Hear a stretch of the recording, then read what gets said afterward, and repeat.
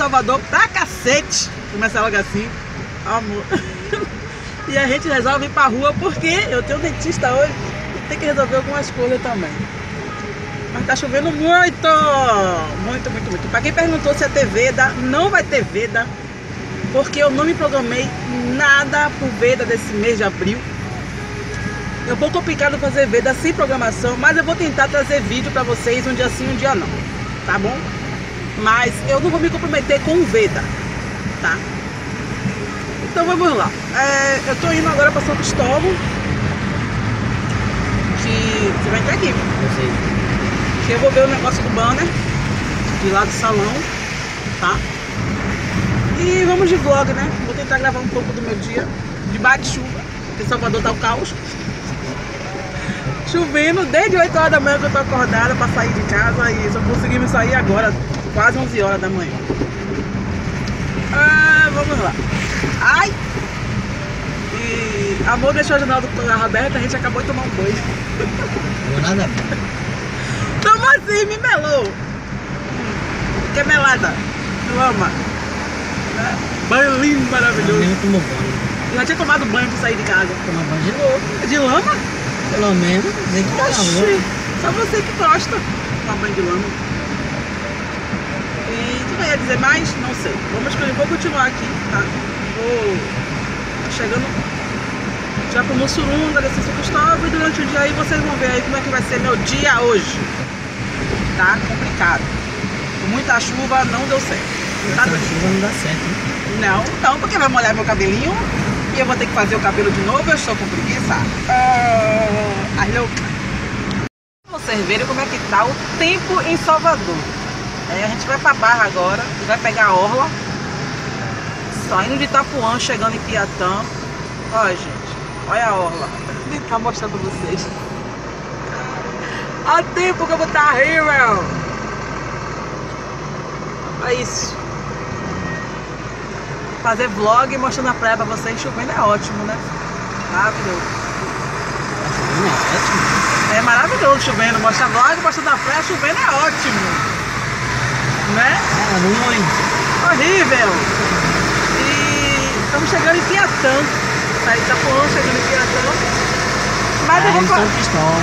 Saímos de São Cristóvão. Saímos de Itapuã chegamos em Piatã, porque daqui pra baixo a gente vai ter que pegar a orla, tá? E... É guia turista? É guia turística. Eu vou fazer um vlog com vocês mostrando as praias de Salvador. Eu vou tentar fazer isso. Mas não chovendo, tá? É só pra dizer vocês que eu tô indo. Já daqui é melhor fazer logo chovendo. Chovendo? Vou fazer vlog logo chovendo. aqui, ó. Tá chovendo, tá? Então a gente vai seguir viagem pra Barra. E de lá eu falo com vocês mais um pouquinho. Tá bom? O dia vai ser muito doido. A cara da pessoa. Ai, eu tô sentindo minha boca torta. Aliás, minha boca tá torta, ó. A cabeça é do dentista, a caverna do queiro, ou dente ciso, sei lá o nome dessa merda. O negócio que dói. E a dentista falando que é só pressão. Minha boca tá torta. Minha boca tá torta. Acerta. Não dá. Tá torta. É que eu pegar um martelo pra acertar. Você não me ama. Ah, se eu amo, amo muito, de coração, perfeito. É, anestesia, a anestesia, ela deu só três anestesia. Eu queria mais. Essa porra dói pra arrancar. Eu de tenho... ser fresca, mulher, vai. Que não foi você? Claro. Antes você do que eu. É sério, minha boca tá torta, gente. Ela tá torta pro lado de boca, viu? Ai, eu não posso rir não. É que eu vou acertar com o martelo. Eu tô indo pra casa agora. Eu tenho que comprar os remédios que a médica passou. Olha como eu tô falando. Ah, eu não vou comer mais nada hoje com esse, essa boca assim. É bom que eu vou comprar chocolate, vou pra empada, coxinha, pão baú. Não vou comer nada disso. É só babando. É... Chegar em casa quando eu melhorar. Yakisoba ali, ó, vou comer um yakisoba. você vai comer- Yakisoba. É, se for yakisoba mesmo, você vai comer. Ah, Ah. Bom, meninas, quando chegar em casa, acho que a anestesia já passou. Vou vou falar direito com vocês. Fiquei com essa boca torta, não dá não. Ai, tá daqui a pouco. Minha boca tá torta. A cada pessoa. Acabei de chegar em casa. Ai, tirei o a gase que tava na boca. Não tô conseguindo nem engolir a saliva. Tá doendo isso aqui tudo. Essa, parecendo que eu tô com a garganta inflamada, mas tá. Tá doendo mesmo. A anestesia já passou, quer dizer, tá passando. Minha boca já voltou ao normal. Eu cheguei, só fiz tirar o sapato e deitar no sofá. Mas dá pra ver que tá inchado, tá? E. Ai. Como dói, gente, como dói. E ainda falta arrancar mais três. Eu tirei logo esse hoje porque tava me incomodando muito. Até pra comer. É, tava me incomodando porque a gengiva tava cobrindo. Mas o dente que dói é dente de siso, o dentiqueiro, não sei como é que chama aí na sua região. Aqui é dentiqueiro. Tá? Eu vou ficar aqui no meu sofrimento porque dentista não é de Deus. Gente, isso dói. E além de faltar arrancar ainda mais três, ainda tem que terminar ainda o tratamento, que é a restauração e a limpeza e tudo, e aí vai. Né? E eu vou descansar um pouquinho para ver se essa dor melhora. Já ver ainda o que é que eu vou fazer para comer, né? Porque não vou poder mastigar nada. Errou. A polícia tenta encontrar uma Menina, voltei. Tá um pouco melhor. Deixa eu tentar baixar aqui a televisão. Tá. Pronto. Tá um pouco melhor. É... Vídeo doido esse, né? Eu comecei a falar que ia ter vlog no meu dia. Mas a chuva não permitiu. Então, por isso apareceu só essas partes. É, a primeira parte eu no carro tá? Não deu para gravar vlog. É, a gente foi resolver o banner hoje lá do salão. É, daqui a dois dias o rapaz vai me entregar. E eu queria gravar pra vocês e tudo, mas não deu por conta da chuva. Saí com o celular na mão é, e tudo, né? Ficou complicado. E de lá, de São Cristóvão, a gente foi pra Barra, porque a agência bancária de, de Felipe é na Barra.